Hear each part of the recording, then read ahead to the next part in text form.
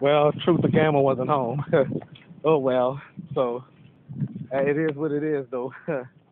so anyway, I, I I had nothing else to do, so I just came around. He's he's gone probably on bourbon, like he always do. All right.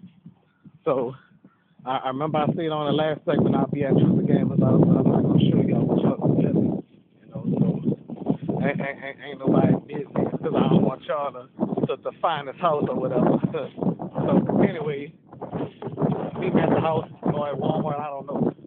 Well, I'm not gonna uh, film at Walmart. Okay. Well, just meet me at the house.